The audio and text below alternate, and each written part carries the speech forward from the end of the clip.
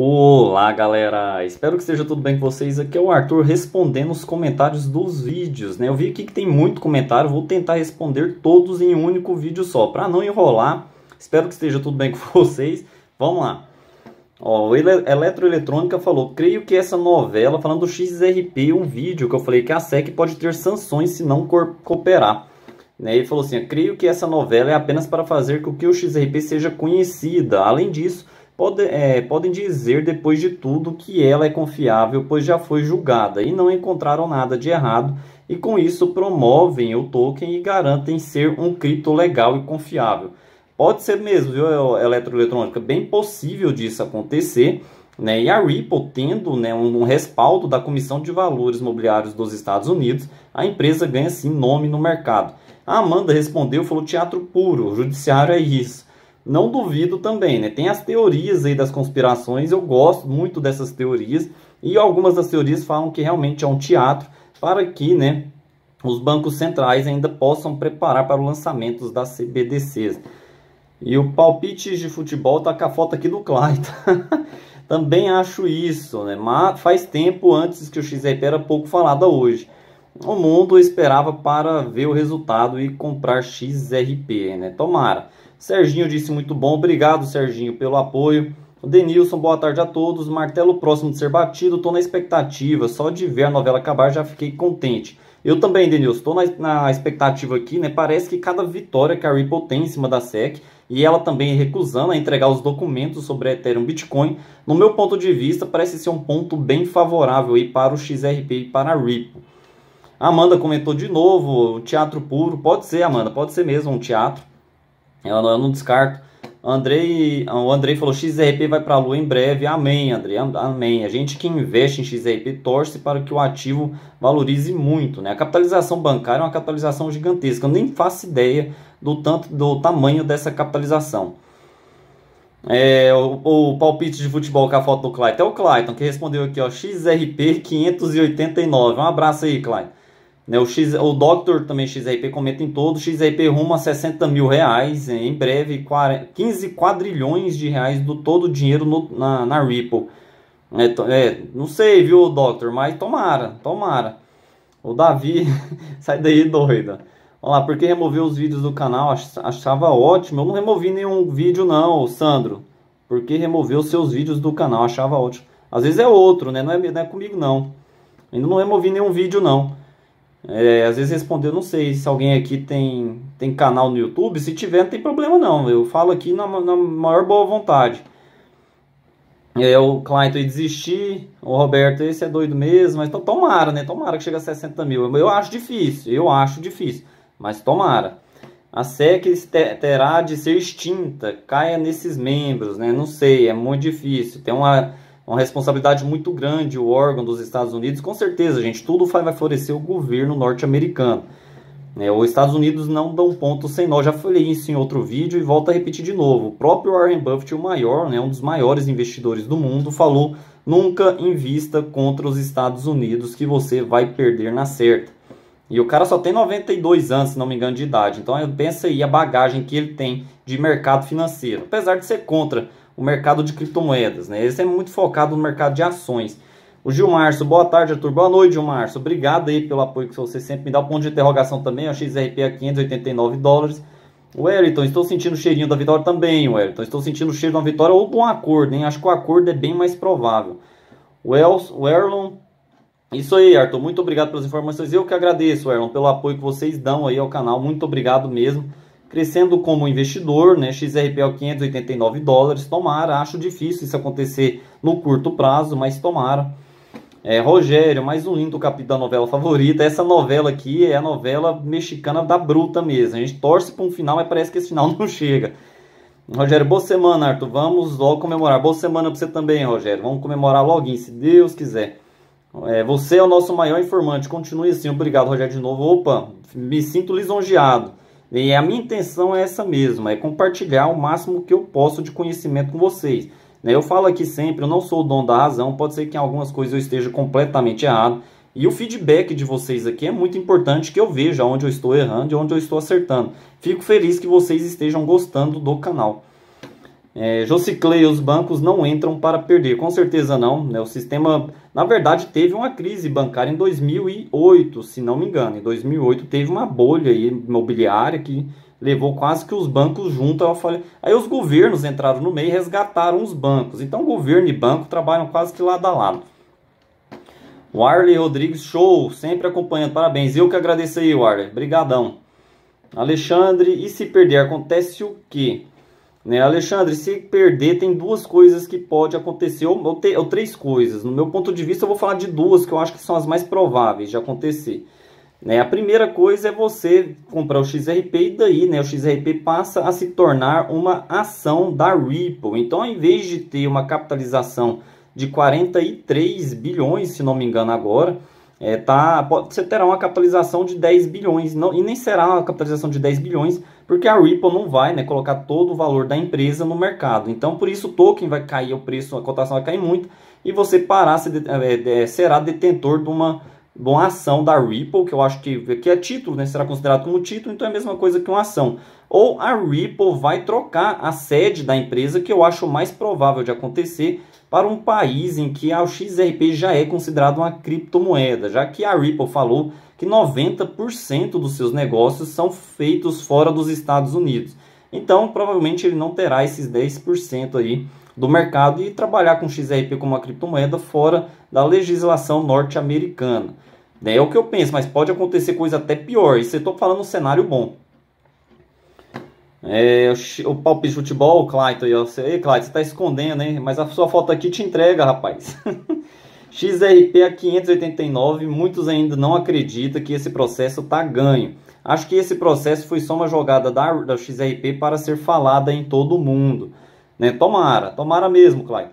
Todos irão comprar o Clayton de novo, todos irão comprar XRP quando ele ganhar e principalmente quando a SEC falar que irá fazer o mesmo com outras moedas.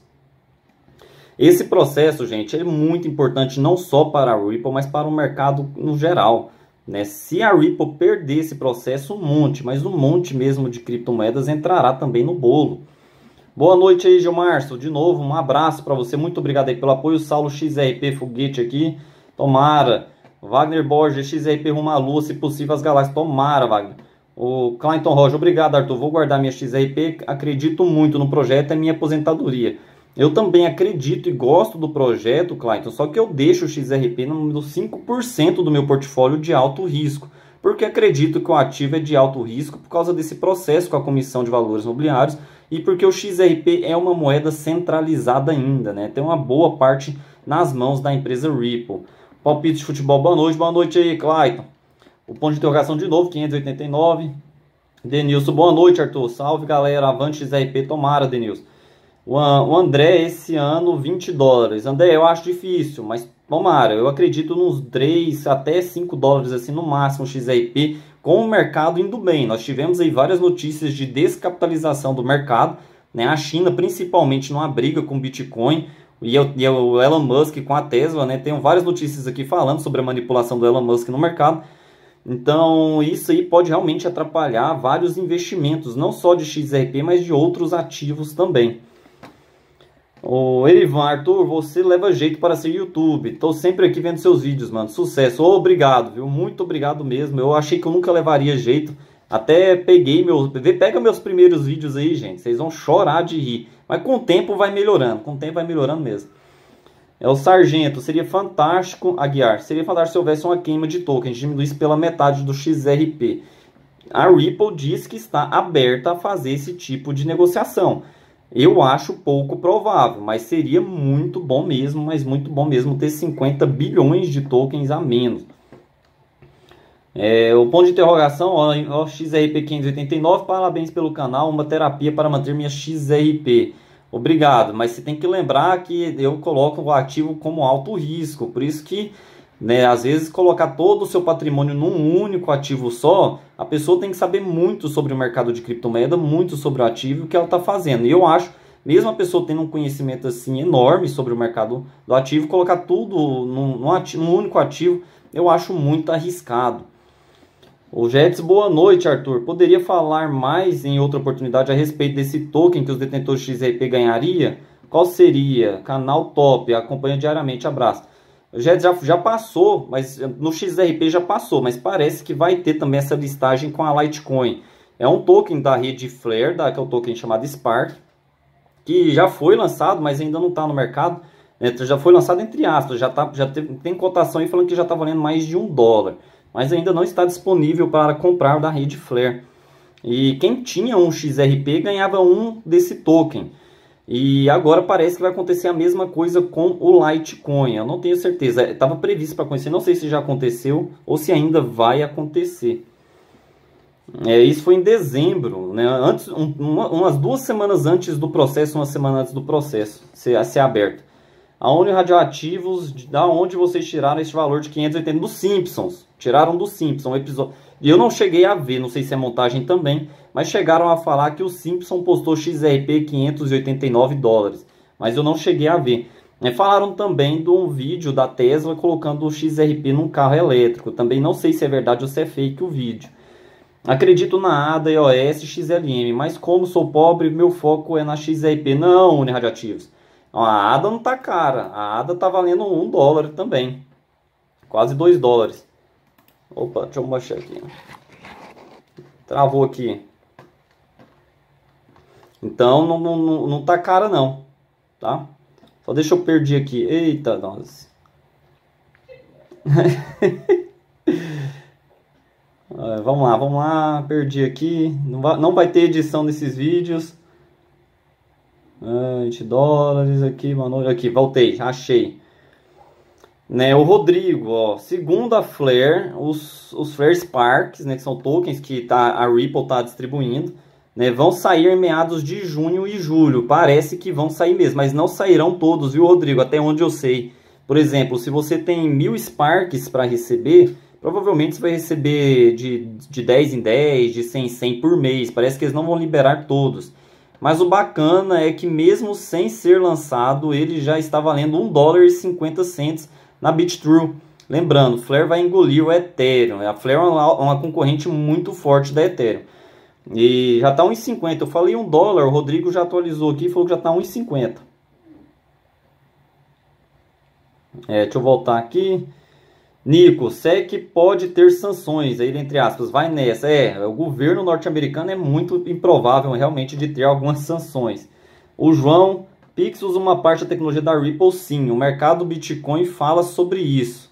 Né? Não, eu não, não conheço ainda, viu, João? Toma, não sei se usa ou se não usa. Mas, né, talvez utilize sim, porque eu vou até pesquisar e vou ver se eu consigo trazer alguma notícia sobre isso aí. Mas até onde eu sei, eu não, eu não sei realmente se utiliza a tecnologia da Ripple ou não. Boa noite, boa noite, até mais. É, no começo acreditei nessa moeda, o minerando. Mas hoje não compro mais nenhuma. Acho que o XRP é furado. Eu só mantenho 5% do meu portfólio em XRP. Conforme eu vou aumentando os meus aportes, eu coloco lá 5%. O Jackson, gosto muito de sua análise conservadora. Penso assim como você, apesar de estar no mundo das criptos há pouco tempo. Eu creio que se o XRP chegar a 10 ou 20 dólares, já vou estar muito feliz. Eu também tenho esse mesmo tipo de pensamento, Jackson. Muita gente não gosta do análise conservadora. Né? Como eu falei, muita gente às vezes prefere thumb de XRP a 10 mil dólares, 60 mil dólares. Né? É uma coisa ainda que eu vejo assim, de, uh, longe de acontecer. Pode acontecer com a capitalização bancária e tudo que o projeto tem programado, se tudo der certo? Pode. Né? Mas eu acho pouco provável ainda. Então eu vou com calma nas minhas análises e vou também procurando estudar ativos mais fundamentalistas. Né? Tem aí a ADA. Lembrando que esses vídeos não são recomendações nem de compra, nem de venda de nenhum ativo. Tem a Chainlink, a Polkadot, a Bitcoin, o Litecoin, a Ethereum, né? Tem quem mais? Deixa eu ver, a VET, a VeChain. Então tem muito ativo aí com bons, bons fundamentos no mercado. O Alexandre, semana que vem vai ter baiano querendo comprar Bitcoin no vídeo que eu falei, né, do El Salvador que usa Bitcoin. O presidente do El Salvador quer agora adicionar a moeda Bitcoin como uma moeda do país, falando que se 1% da capitalização entrar do Bitcoin no país como investimento, o PIB já sobra 25, já sobe 25%. Então ele está tendo uma análise aí bem, boa, bem uma perspectiva bem boa na, na criptomoeda. E se o Bitcoin conseguir isso, gente, o mercado de criptomoedas inteiro ganha, não só o Bitcoin. Alex Gomes, governos são como gafanhotos. É, É complicado. Wagner, acho muito bom os seus comentários, sempre com os pés no chão. Mas sou muito novo neste mercado. Você teria alguma moeda para me indicar e comprar dele? Obrigado, fiquem todos com Deus. Eu que agradeço aí, Wagner, pelo apoio. Eu sempre falo para vocês estudarem mais o mercado, estudar as empresas por trás, as pessoas por trás. Qual o problema que a, que a criptomoeda está tentando resolver no mundo e daí você faz seus investimentos tranquilo. Né? Se você quiser adicionar uma análise gráfica para ver um ponto de entrada melhor, né, pode adicionar também no dia a dia. Mas aí todos os projetos que eu falo no vídeo eu não posso recomendar porque eu não sou analista financeiro, não posso, não tenho nenhum título para isso. Então eu não posso dar recomendações nos meus vídeos. Mas os vídeos que eu faço aí no YouTube, a maioria né, são ativos que eu invisto. O Erlon sempre ligado nos seus vídeos, meu amigo. Eu que agradeço aí, Erlon, pelo apoio. XRP a 589 de novo. Bom dia aí, boa noite para você, Clayton, de novo. Shiba chega a um dólar. O Alpha Games perguntando. É, acho difícil, viu? Não acredito, não. Eu acho difícil. Acho que não chega a um dólar, não. Acho que não chega nem a um centavo de dólar, viu? Não sei. Acho muito difícil. É, o Alfa, mais um inscrito. Obrigado aí, Alfa, pelo apoio. Muito obrigado mesmo. O Cássio, apoiador do canal. Uma hora os tolos vão deixar de ser tolos e parar de seguir as especulações do Elon Musk no vídeo que eu gravei sobre a manipulação do Elon Musk. E, infelizmente, Cássio, muita gente ainda cai na onda do Elon Musk. Qualquer Twitter que ele dá, o ativo sobe, né? Esse ativo que ele fez subir de, de, um, de um conteúdo adulto, né? Um conteúdo pornográfico, é, eu nunca nem tinha ouvido falar, fiquei sabendo por causa dele. O Gilmárcio aí de novo, obrigado Gilmárcio pelo apoio, muito obrigado mesmo. Paulo, eu sabia que esses comes tinham algo errado, né? O, então, o... Então é isso, galera. O vídeo ficou um pouquinho longo. Vou tentar trazer outro vídeo amanhã, tá bom? Um abraço. Espero que esteja tudo bem com vocês. Muito obrigado aí pelo apoio. Um abraço e até a próxima.